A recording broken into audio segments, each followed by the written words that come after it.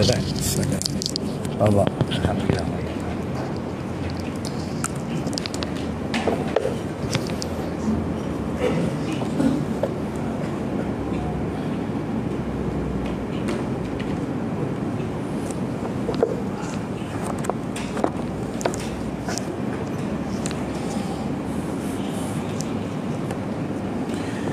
بسم الله الرحمن الرحيم.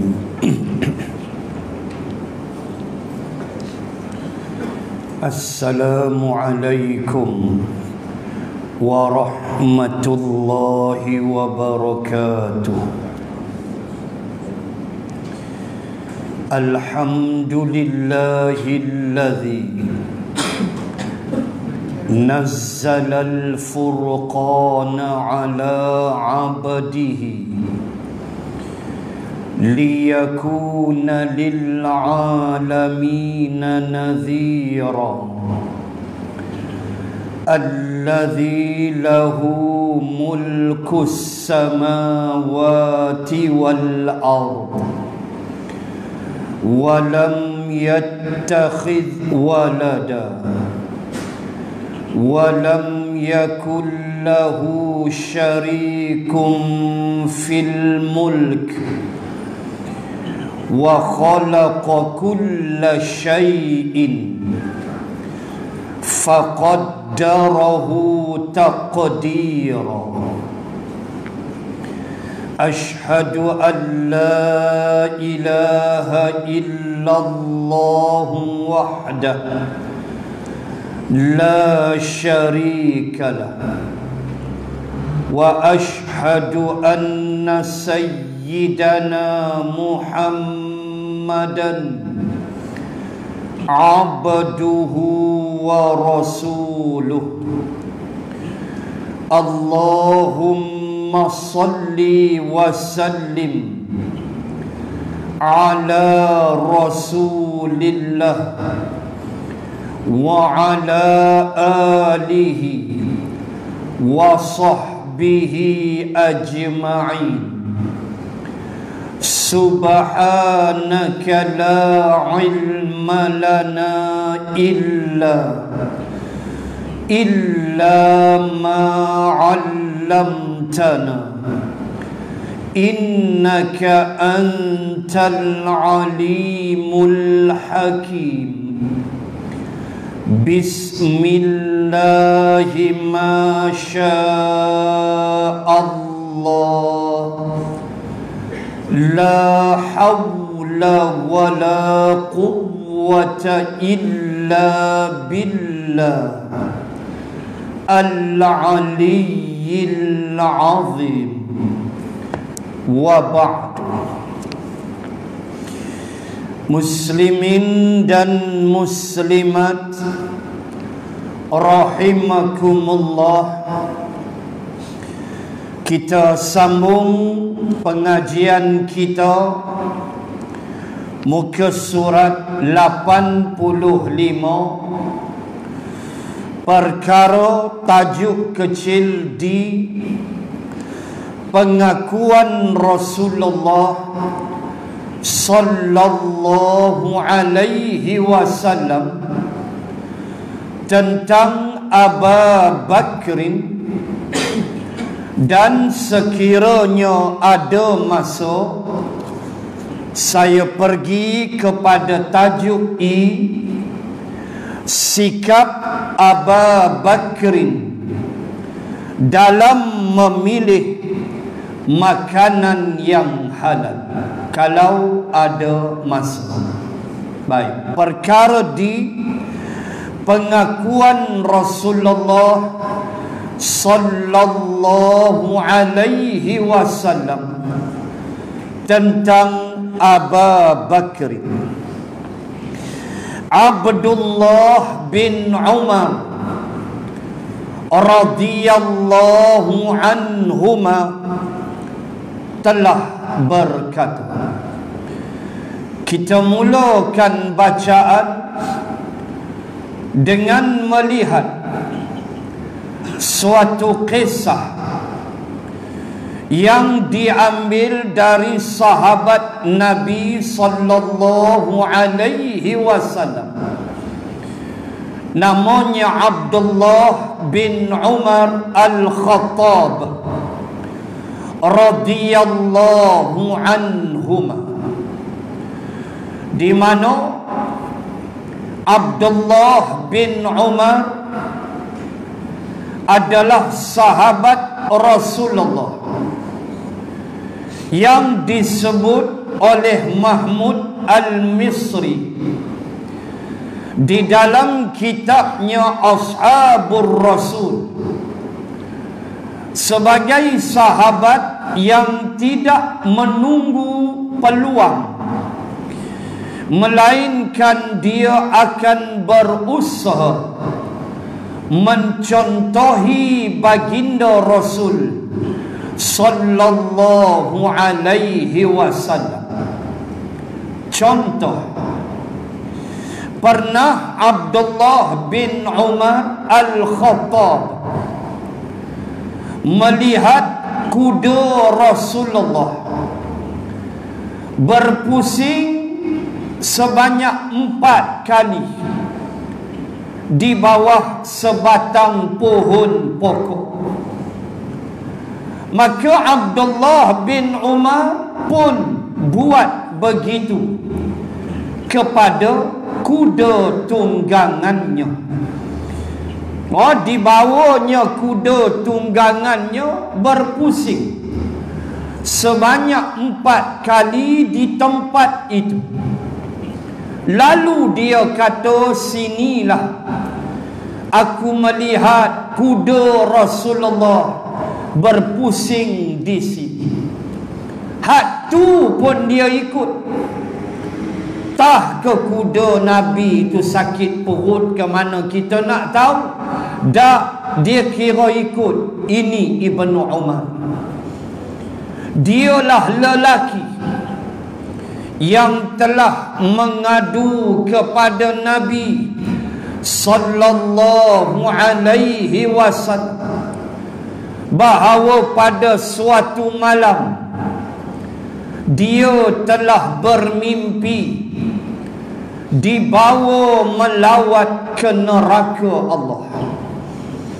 Takut dia.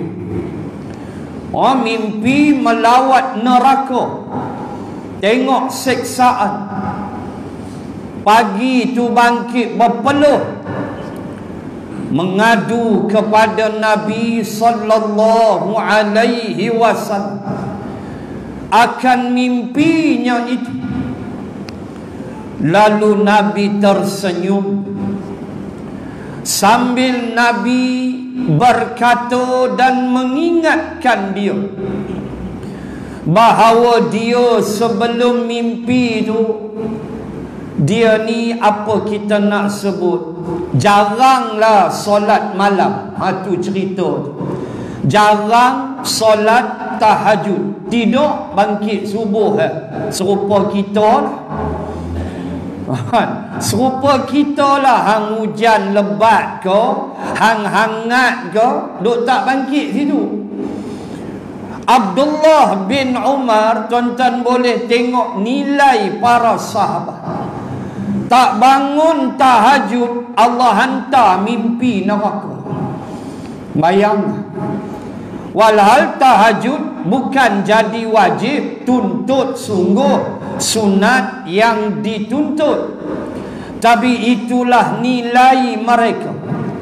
Dan bila Nabi sebut begitu Mula saat malam tu dia tak berhenti tahajud sampai dia meninggal dunia. Tu Abdullah bin Umar. Di sana ada Abdullah bin Amru bin Al-As. Ni sahabat Nabi yang nama Abdullah. Abdullah bin Amru bin Al-As kata Mahmud Al-Misri dalam Ashabur Rasul satu hari dia duduk dengan Rasulullah oh, Abdullah bin Amr bin Al-As. Anak sahabat Nabi Amru bin Al-As gubernur Mesir yang sempat menjadi gubernur Mesir di zaman Umar Al-Khattab menjadi khalifah. Amru bin Al-As adalah sahabat Nabi di kalangan jenderal perang. Dia jenderal panglima perang. Amru bin Al-As masuk Islam lewat tahun 7 Hijrah. Setahun selepas perjanjian Hudaibiyah oh, dia ada anak nama dia Abdullah juga. Abdullah ni hebat Masya Allah satu hari dia duduk dengan Nabi Sallallahu alaihi wasallam. Tiba-tiba Nabi kata pada dia Wahai Abdullah Kamu tahu tak Siapa ada dengan kita sekarang Abdullah bin Amru bin Al-As kata Kita berdua je lah Nabi kata tak Ni tepi saya ni ada Jibril alaihi salam. Malaikat Jibril ada sebelah Nabi. Maka Abdullah bin Amru kata ya Rasulullah izin saya bagi salam ke dia. Allahu akbar. Hebat ya Allah. Nabi kata sila. Dia pun assalamu alayka ya Jibril. Lalu selang beberapa detik Nabi tersenyum Dan Nabi kata Wahai Abdullah Jibril menjawab salam Subhanallah. Oh, Ini Abdullah bin Amru bin Al-As. Di sana ada Abdullah bin Jahshi Abang Ipa Nabi sallallahu alaihi wasallam. Abang kepada Zainab binti Jahshi bukan sekadar abang ipa tetapi sepupu Rasulullah. Oh, kerana ibu kepada Zainab ibu kepada Abdullah bin Jahshi nama Umaymah Umaymah adalah kakak kepada ayah Nabi. Ha? makcik Nabi. Maka Nabi kahwin sepupu. Maka Abdullah bin Jahshi abang kepada Zainab binti Jahshi adalah abang ipar Nabi seorang yang mati syahid dalam peperangan Uhud. Tu yang kita bagi salam di medan Uhud. Assalamu alayka Ya Abdullah ibni Jahshi Kan kita bagi salam Kepada Sayyidina Hamzah Kepada Mus'ab bin Umair Dan kemudian Abdullah bin Jahshi Kemudian baru kita jamak Assalamu alaikum Ya syuhada Uhud Baru jamak Tiga ni sebut nama seorang-seorang Punya istimewa Allah. Di sana ada Abdullah bin Mas'ud radhiyallahu anhu maula Nabi. Dia adalah pembantu Nabi. Dia kerja dia kalau Nabi nak berwudu dia akan ambil air wudu untuk Nabi. Kalau Nabi tanggal kasut sandal Nabi, Ibnu Mas'ud akan pegang simpan letak suatu tempat yang special istimewa. Nabi qada hajat dialah ambil air untuk Rasulullah qada hajat. Ini Ibnu Mas'ud dalam list masuk Islam dia nombor enam sepuluh yang awal Ibnu Mas'ud. Dan dialah yang Nabi sebut Betih dia tu kecil. Taklah kata cacat Tidak. Tapi sebelah betih dia tu kecil. Ha, Lalu sahabat serupa kita lah Bergurau-bergurau begitu. Macam kita lah. Ha, Bergurau tengok kawan-kawan kita Jalan sepah sikit ke apa kita bergurau. Lalu sahabat gurau. Duk tengok kecil betih Ibnu Mas'ud. Nabi kata timbang betih ni dengan bukit Uhud berat lagi dia kata Rasulullah. Menunjukkan keimanan Ibnu Mas'ud radhiyallahu anhu. Di sana ada Abdullah bin Abbas radhiyallahu anhuma. Bagaimana pergi Taif ziarahlah bandar Taif dan ziarahlah Masjid Ibnu Abbas di Taif dan pergi ziarah maqam Ibnu Abbas radhiyallahu anhuma di bandar Taif yang waktu dia nak wafat sahabat-sahabat memang nak bawa dia. Kalau dia wafat sahabat nak bawa dia tanam. Nun di Baqi' tanam di Baqi' nun di Madinah. Taif ke Madinah boleh tahan lah jauh. Jauh Taif ni belah-belah Mekah ni. Jauh nak bawa ke Madinah.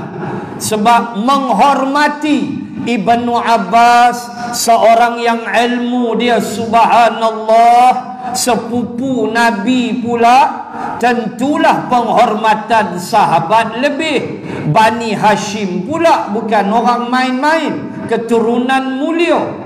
Lalu Ibnu Abbas kata tak payah. Tanam saja saya di sini. Kerana siapalah aku layakkah aku untuk bersama dengan ribuan sahabat di Baqi' mereka lebih mulia daripada aku. Mereka lebih bertakwa daripada aku. Tuan-tuan bayang. Tawadhu' ibnu Abbas. Walhal ilmu dia subhanallah lelaki yang paling memahami Al-Quran ialah Ibnu Abbas. Sahabat pun belajar dengan dia. Tengok ayat tu tanya Ibnu Abbas. Waktu ni Nabi buat apa? Ayat ni turun pagi ke petang? Dia jawab segitu aja. Punya hebat subhanallah. Pun dia punya tawadhu siapalah aku nak pi tanam di Baqi' la ilaha illallah kita mengaji tu dia punya halus. Ada hati nak cerca para ulama. Dahlah mengaji malas membaca kurang. Duk ikut tok guru dia Google dengan Facebook. Hatulah tok guru. Ha, lepas tu kutuk tuan guru Baba Ismail sepanjang dalam kes renjesan air ke kereta. Sedangkan benda ada dalil benda ada nas yang dikemukakan oleh para ulama. Tapi sikap belagak kita kutuk sampai nak jawab apa dengan Allah pada hari kiamat. Nak banding ilmu kamu dengan tuan guru baba Ismail sepanjang tai hidung dia pun tak sampai ilmu dengan kamu. Minta maaf sebut. Astaghfirullah Orang la tuan-tuan. Imam Syafi'i panggil PE ya. Kepala otak hang PE Sepak pungkuk hang baru tahu. Kuang hajar biadab. Sampai tahap Imam Syafi'i pun ada salah. Amboi amboi Imam Syafi'i pun ada salah dalam mengeluarkan fatwa dan sebagainya. Dalam keadaan kita rasa kita sudah hebat. Habis tuan-tuan. Punah kita. Syaitan memperkudakan kita. Syaitan menghiaskan. Kamu hebat dah kamu dah ada PhD, kamu doktor falsafah, kamu associate professor, kamu full professor, kamu hebat dah. Pelekeh habis ulama. Jaga talbis iblis. Iblis cukup licik dalam menjahanamkan manusia. Maka contohilah Ibnu Abbas. Tak ada rasa diri apa. Maka dikebumikan dia di Taif. Tuan-tuan, pi haji, pi umrah, Allah panggil pergi, pergi ziarah Taif. Walaupun kubur tu tembok dia tinggi Kita berdiri je lah belakang tembok tu kita doa je lah Nak tengok memang payah Pak Arab dia buat tembok. Tu pun saya pergi dua tahun lepas Ada geng Bangla sudah panjat tembok tu. Mereka nak tengok juga.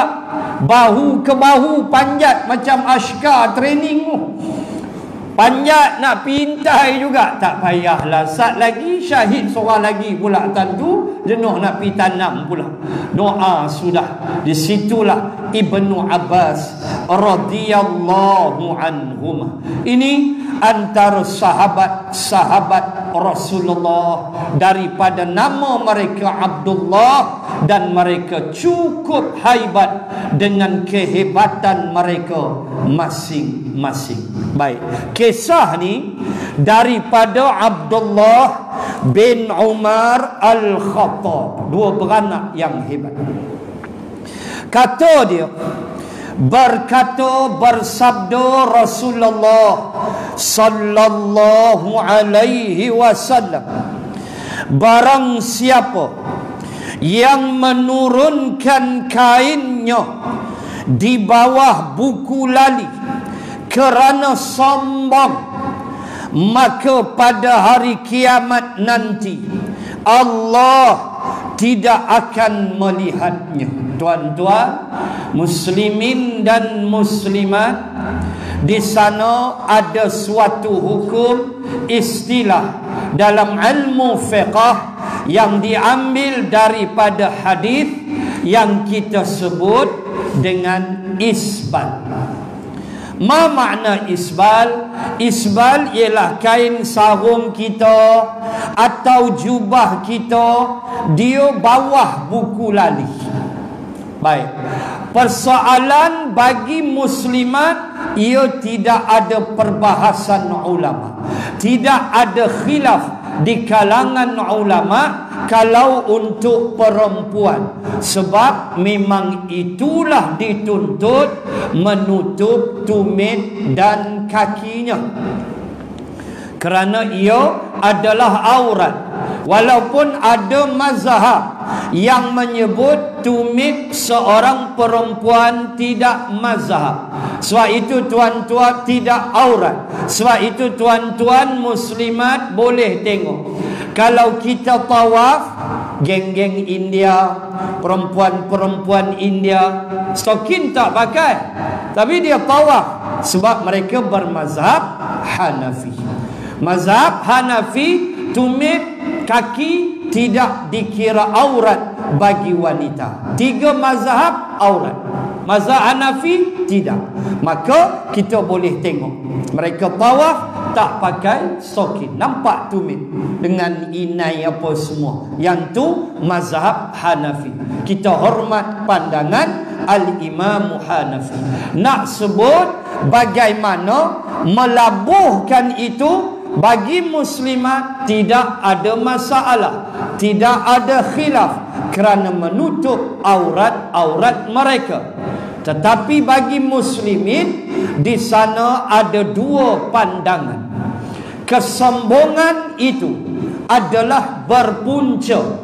Kenapa nabi kata sombong dengan sombong? Kerana sombong lalu Allah tidak akan melihatnya pada hari kiamat kerana asalnya ialah itulah perangai kepimpinan Quraisy. Itulah style mereka. Bila mereka pakai jubah meleret-leret dengan kembang berjalan rasa diri hebat. Oh, sapu lantai ni kira tak payah beli penyapu lah cerita dia. Oh, dengan kesombongan, keangkuhan mereka ada di situ perbahasan dia kait dengan apa? Sombong. Nabi nak ajar kita berhati-hati. Kenapa? Kerana sombong ni bahaya. Dia datang dalam berbagai bentuk. Makanya dalam bentuk pakaian pun dia boleh jadi pakai dengan sengaja labuhkan dengan sengaja. Lepas tu berjalan rasa hebat. Jubah pula made in Dubai. Orang beli dekat Dubai mahal harga. Bukan sikit anak tuan-tuan. Bahkan telekung muslimat pun Ada harga beribu tuan-tuan Telekung harga beribu. Manik-manik tak apa benda. Kita pun pening tengok ada orang beli duit banyak. Maka dengan jubah dia rasa dia hebat ma meleret jubah dia sampai ke tanah tutup habis buku lali dia berjalan dengan kesombongan itulah Abu Jahal Abu Lahab. Maka Nabi kait perbuatan itu dengan sifat sombong kerana sombong bahaya la yadkhuluna al-jannah man kana fi qalbihi min khardalin min kibrin. Tu yang kita takut. Tidak akan masuk syurga. Orang yang dalam hatinya ada sebesar debu sebesar zarah sifat sombong besar debu ada sifat sombong. Sebab itu bila berjalan Allah bagi ingat ayat 37 suratul Isra wala tamshi fil ardi maraha innaka lan takhriqal ard walan tablughal jibala tula Allah bagi ingat. Allah kata wala tamshi fil ardi maraha. Jangan kamu berjalan di muka bumi aku dengan kesombongan maraha maraha ditafsirkan dengan angkuh. Maraha ditafsirkan dengan diri cukup sempurna. Maraha ditafsirkan dengan rasa diri hebat daripada orang lain. Allah kata la tamshi jangan berjalan seperti itu. Berjalan fil ardi atas bumi aku dalam keadaan belagak maraha. Sebab innaka sesungguhnya kamu lan tahriqal ard tumit kamu yang kamu berjalan dengan angkuh itu tumit kamu takkan dapat menembusi bumi aku. Tak ada bila berjalan dengan belagak bumi berlubang. Tak ada dia pasal. Kaki hang berlubang ada kencing manis kan berlubang kaki ada kencing manis. Nak sebut takkan berlubang kamu takkan dapat menembusi bumi aku. Satu simbolik satu bentuk kenyataan daripada Allah apa yang kita nak jalan dengan belagak tumit kita takkan dapat melubami melubangkan bumi dan kamu bila berjalan macam tu walan tablughal jibala tula. Dan kamu tidak akan mencapai setinggi gunung gana kamu takkan bila berjalan kamu sama tinggi dengan gunung. Tak ada pasal.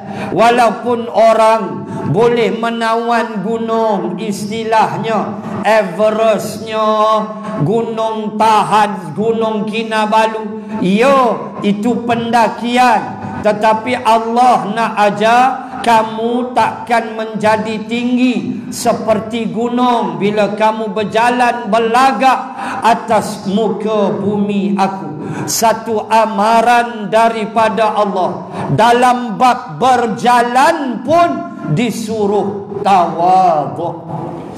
Allah tak sebut jangan kamu tidur jangan kamu baring dalam keadaan maraha belagak. Tak Allah tak sebut jangan kamu duduk dalam keadaan belagak tak ada tapi Allah sebut jalan sebab itulah yang banyak berlaku Jalan tu dia jadi lain macam. Dulu tak ada apa pun. Naik-naik nama pilihan raya tanding menang. YB. Po berjalan kembang pun kok. Dia tak ingat dah kita. Hak member isap okok sekali dengan dia lu dia lupa sebab dia dah isap cerut. dia tak ingat dah member yang sama-sama susah dengan dia dulu. Contohlah tak kata siapa.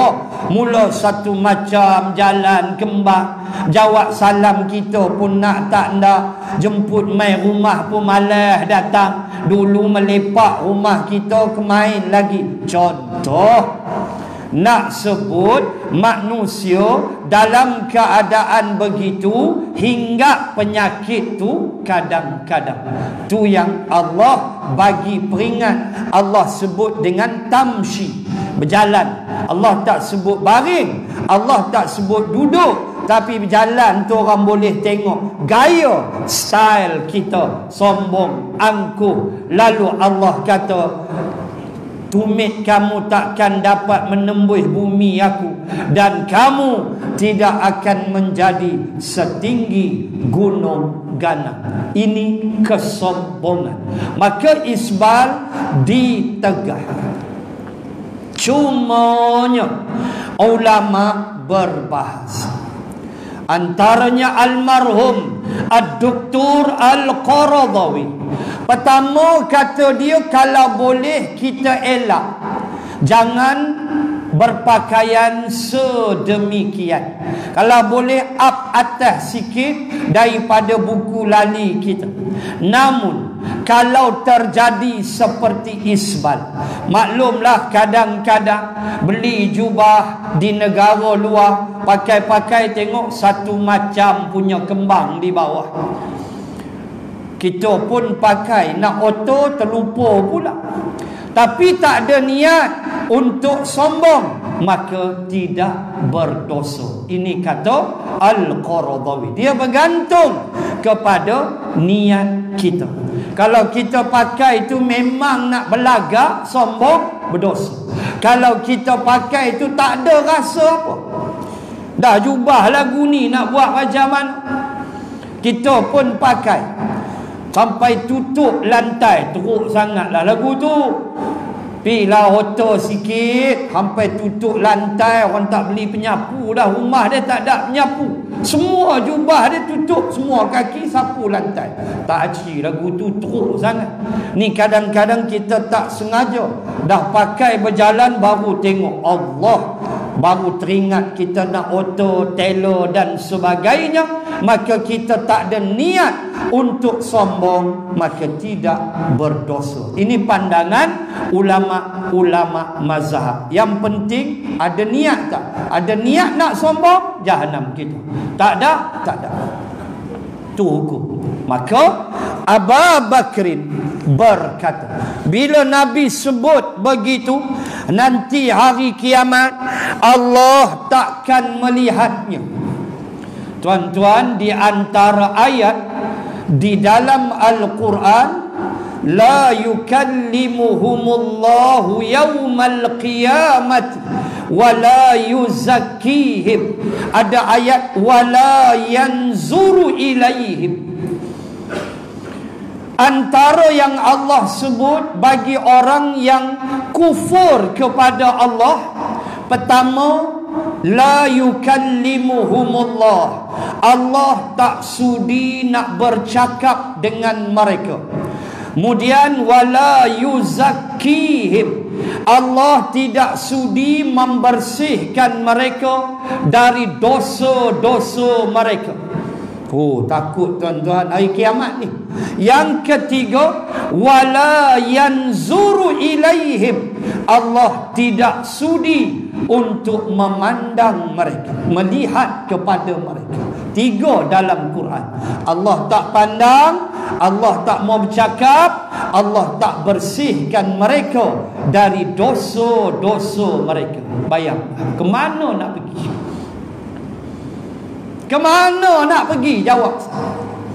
Amilatun nasibah. Di dunia berpenat lelah. melakukan perkara yang tidak diterima oleh Allah. Kalau kita baca suratul khasyiyah pada ayat 3, amilatun nasibah. Allah sebut dengan khabar marfu' dalam keadaan isim fa'il khabar marfu. Allah taala sebut mereka berpenat lelah di atas dunia melakukan perkara-perkara yang Allah reject. Mana nak pergi ayat tu tuju pada si kafir. Orang-orang kafir di dunia yang mereka berpenat dalam ritual kepercayaan mereka itu lantaklah kebebasan beragama tapi Allah sebut kepenatan mereka tiada hasil bila sampai di bumi mahsyar. Amilatun nasibah. Na'udzubillah kita tak mau jadi seperti itu.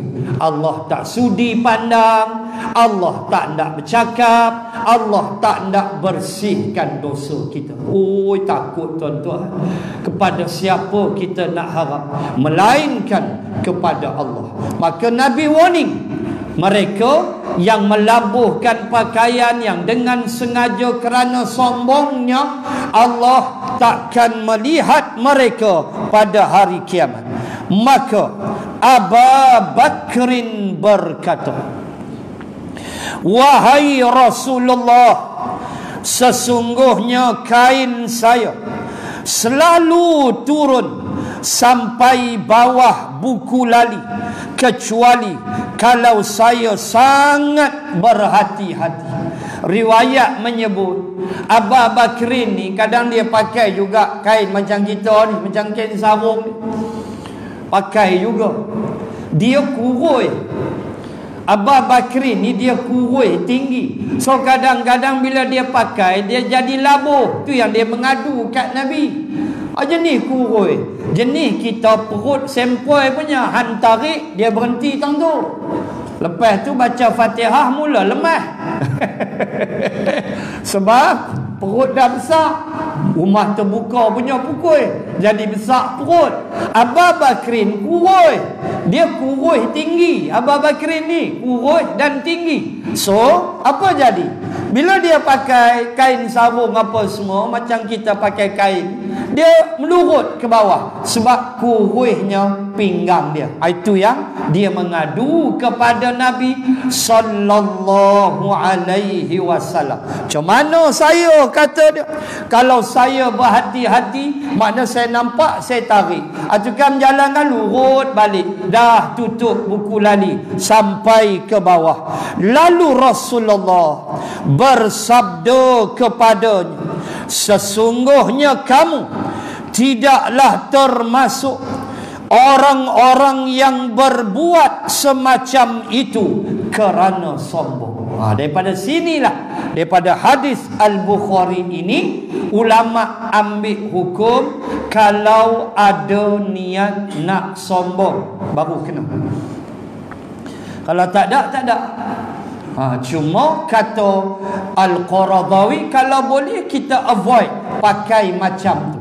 Namun kalau terjadi pada kita, kita tak ada niat, maka dia tak jadi apa. Yang penting ialah niat itu. Ada niat nak berlagak, jahat. Tak boleh. Islam tak bagi. Dalam keadaan ada pula mimpi.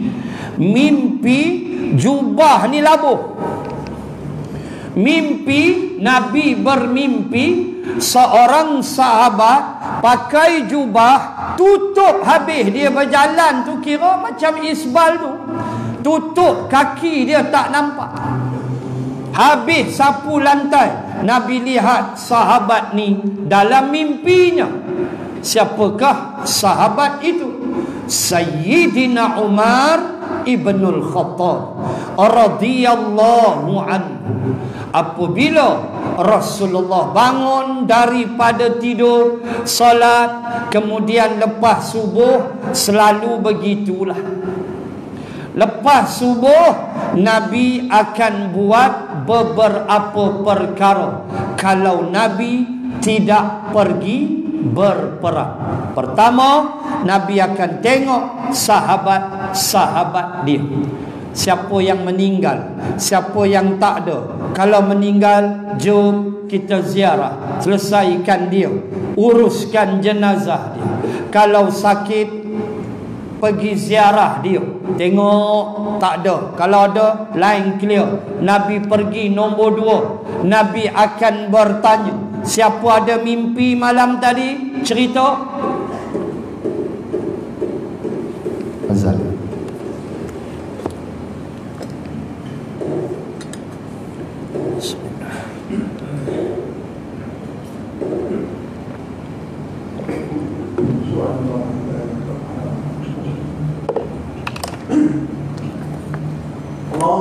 الله أكبر. الله أكبر.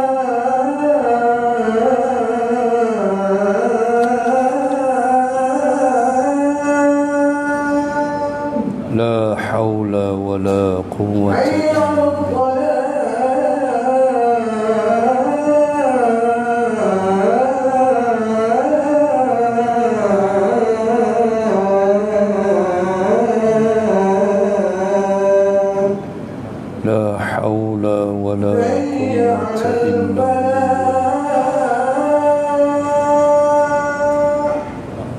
لا حول ولا قوة إلا بالله.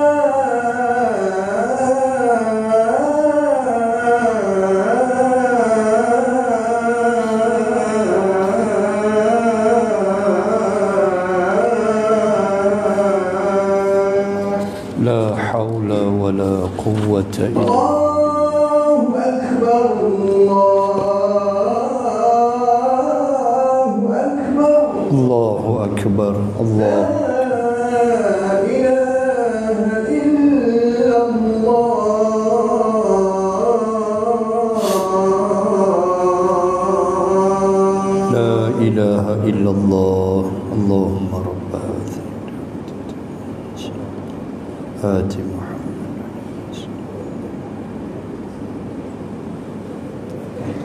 muslimin dan muslimat. Sekiranya semua sahabat ada tak ada yang meninggal tak ada yang sakit maka nabi akan pergi kepada rutin yang kedua bertanya kepada para sahabat siapa yang ada mimpi malam tadi. Ceritalah akan ku takwil mimpi itu. Dan kalau ada sahabat yang mimpi cerita Nabi akan sebut dan takwil. Walaupun dalam keadaan mimpi itu mungkin kecil tapi Nabi menyebutnya. Dan kalau sahabat tidak ada yang bermimpi dan kalau Nabi ada mimpi Nabi akan cerita pula mimpi dia dan Nabi takwil sekiranya itu pun tidak ada maka Nabi akan menyampaikan tazkirah kuliah subuhnya. Kadang-kadang sekejap kata Abu Bakri. Kadang-kadang matahari dah naik baru kami beredar dari majlis Nabi. Itu qadar lamanya Nabi bersama dengan sahabat selepas subuh. Maka itulah pada suatu hari Nabi cerita dia mimpi dan ulama menyebut waktu Nabi cerita mimpi ni Nabi telah memastikan Sayyidina Umar tidak ada dalam majlis itu. Sebab lagi nak sembang bab dia. Itu ha, dia Rasulullah punya cermat. Manalah tahu takut saat lagi dia main perasaan satu macam. Sebab yang mimpi itu Rasulullah. Maka Nabi pastikan Umar memang tak ada dalam majlis itu. Baru Nabi sebut aku mimpi melihat Sayyidina Umar melihat Umar memakai jubah yang menutup tanah kata Nabi. Tak nampak kaki berjalan. Umar tak ada waktu tu. Lalu sahabat bertanya apa makna ya Rasulullah?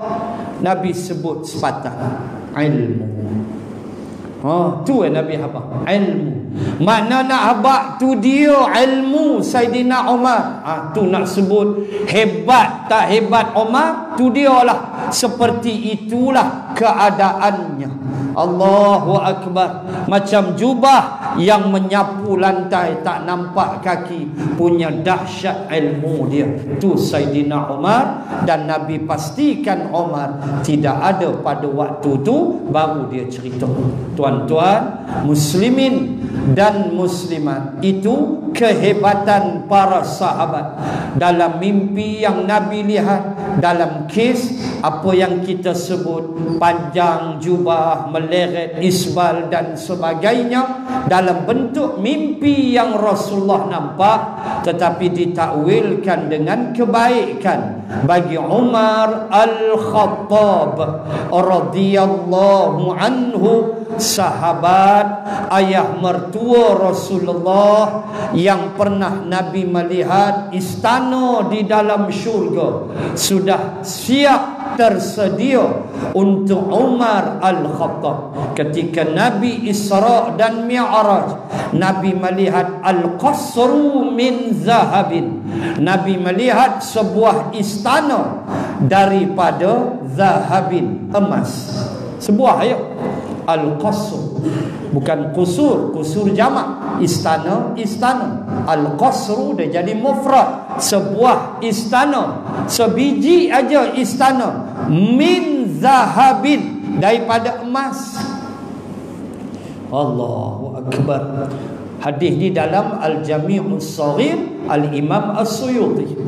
Hadis sahih So ditanya Nabi tanya pada Jibril pada malaikat Ni siapa punya ni?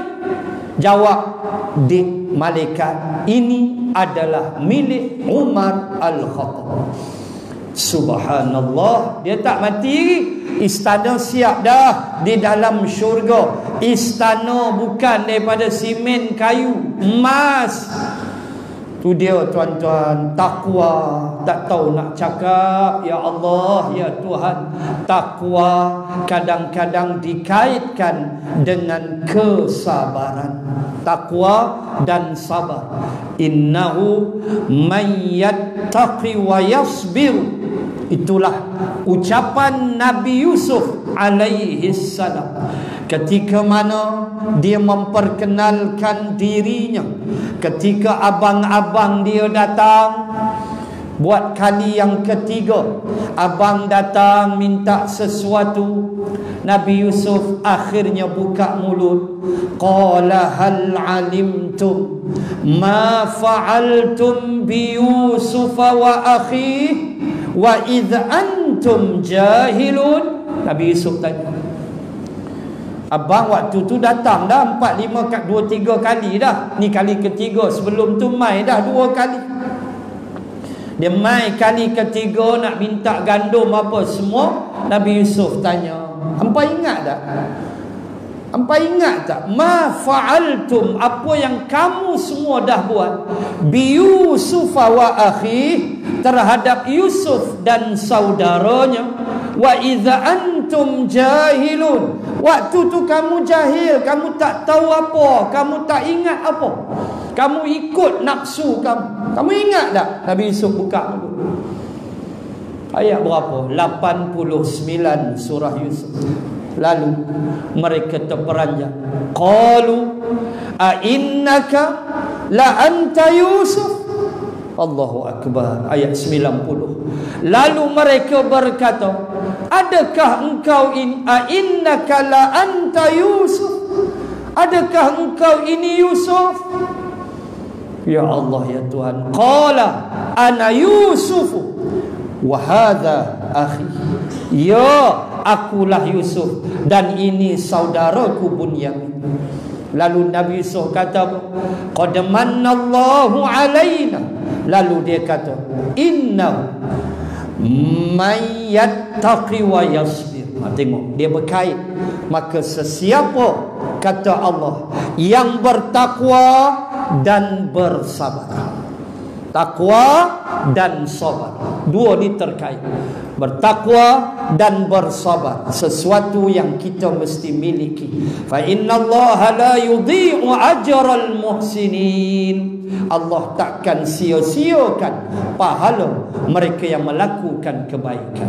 Maka Nabi Yusuf sebut, aku bersabar atas segala ujian. Tapi dia mulakan dulu dengan takwa. Yattaqi wa yasbir. Siapa yang bertakwa dan bersabar. Ini kita mesti faham. Itulah syarat-syarat kejayaan dunia dan akhirat. Kita membina ketakwaan dengan amalan-amalan kita. Kita bersabar atas segala ujian. Bayangkanlah Nabi Yusuf bermula daripada perigi.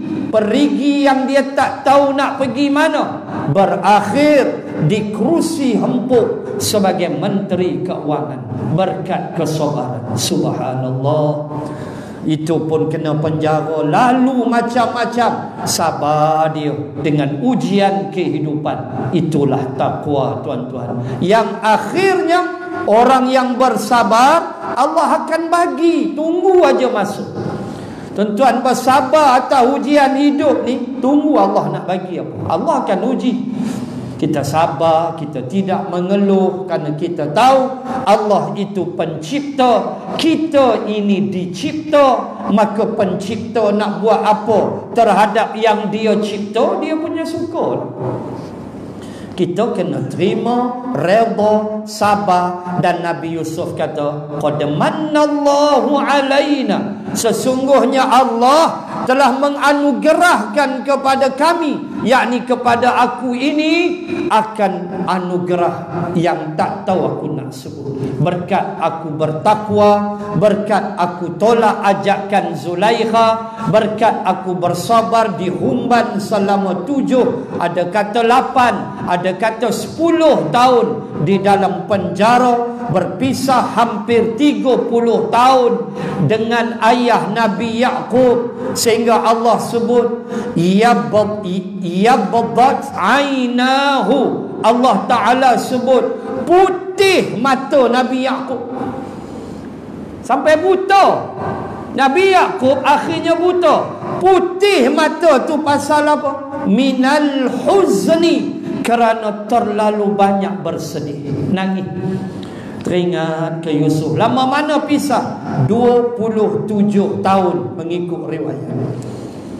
Hampir buta dan riwayat sebut buta. Buta Nabi Yaqub alaihi salam akhirnya dalam bentuk waktu tu Allah sebut putih mata dia kerana banyak menangis. Tapi dia menanggung kesabaran. Sabar fasabrun jamil dia kata. Sabar itulah yang indah. Allahu akbar tuan-tuan. Pedih perit bila Allah uji. Tapi kita sabar. Percayalah Allah bagi habuan. Percayalah sampai masa dia Allah akan memberi habuan kepada mereka yang bersabar. Itulah ucapan Yusuf alaihi salam. Daripada seorang yang dihina oleh adik-beradik sendiri akhirnya itulah anugerah Allah kepadanya menjadi pemerintah menjadi menteri bagi kerajaan Mesir. Walaupun dia tidak jadi pemerintah nombor satu tapi menguruskan keuangan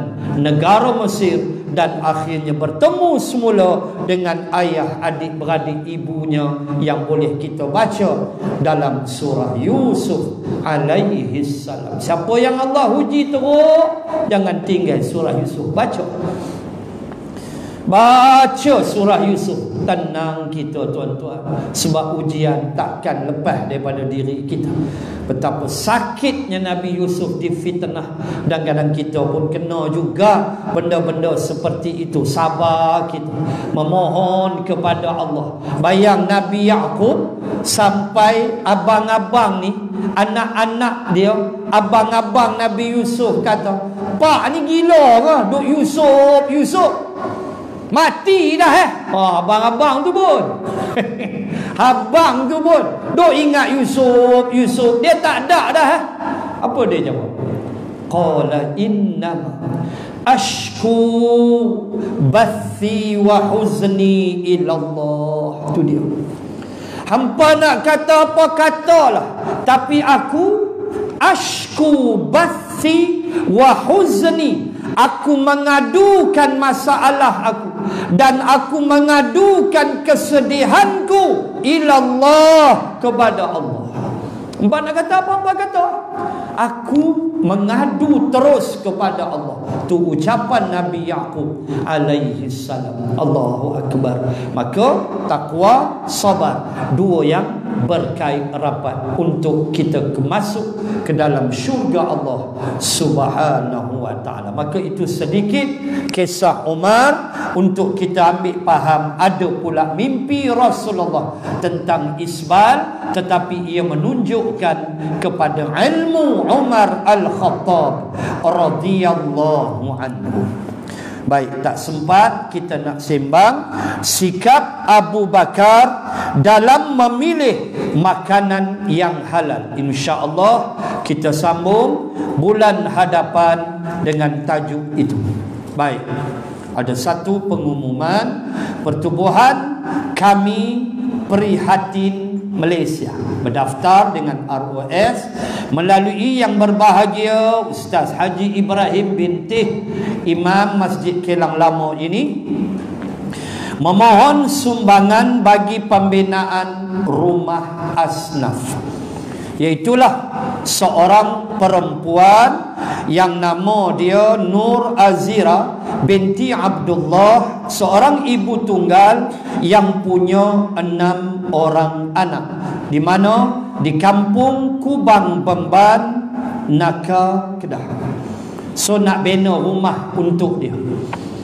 Kos RM75,000 so kita pakat tolong tuan-tuan ini ibu tunggal. Siapa dia sahabat yang paling kuat menolong ibu tunggal? Sayyidina Ali bin Abi Talib. Dua malam sekali dia akan pikul. Dia khalifah tu. Dia pikul gandum beras letak depan pintu rumah ibu tunggal ni lari ibu tunggal tengok semua ada. Dengan roti dengan tepung segala jenis. Habis kan Ali tahu dah. 4-5 hari habis. Anak ramai. Hantar pula. Malam-malam. Sampailah Saidina Ali mati ditikam Barulah tak sampai. Barulah ibu tunggal ni tahu Yang hantar tu Saidina Ali. Allah Khalifah tuan-tuan Khalifah Maka kita bantu. Yang kita jadi bapak tunggul pula. Bantu. Ha, Kita ibu tunggal Mesti dibantu Ditolong Suami tak ada dah Kena faham elok-elok. Anak enam orang Kecil-kecil mungkin Perlukan tempat berlindung Kita kena faham. Maka kita bantu Sakat mana kita mampu tolong Menjadi saksi nanti Di negeri akhirat. Walaupun kita tak dapat buat Macam Sayyidina Ali nak pikul malam-malam Tapi hak ni lah kita boleh tolong. InsyaAllah Selepas solat isya ada tong tuan-tuan bubuh lah Untuk puan ini Nur Azira binti Abdullah enam orang anak dan ia adalah seorang ibu tunggal. Mudah-mudahan Allah merahmati kita memberi balasan yang setimpal terhadap apa yang kita hulurkan pada malam ini menjadi penebus pelepas huru hara susah payah di bumi mahsyar. Amin ya rabbal alamin. Karena itulah janji nabi barang siapa yang melepaskan sesak kesusahan saudara Islamnya di dunia Allah akan lepaskan kesusahan dia di negeri akhirat. Apakah kita tidak mahu semua itu? Ketika mana kita nafsi-nafsi tak ada siapa dah nak tolong. Waktu itulah datang pertolongan amalan kita di dunia mudah-mudahan Allah merahmati أعوذ بالله من الشيطان الرجيم بسم الله الرحمن الرحيم الحمد لله رب العالمين الصلاة والسلام على رسول الله وعلى آله وصحبه أجمعين. اللهم زدنا علما وارزقنا فهما. اللهم ارزقنا فهم النبي وحفظ المرسلين. اللهم ربنا أت أتمم لنا نورنا واغفر لنا. ربنا آتنا في الدنيا حسنة وفي الآخرة حسنة وقنا عذاب النار.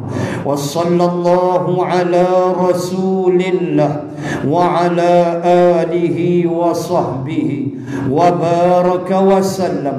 والحمد لله رب العالمين.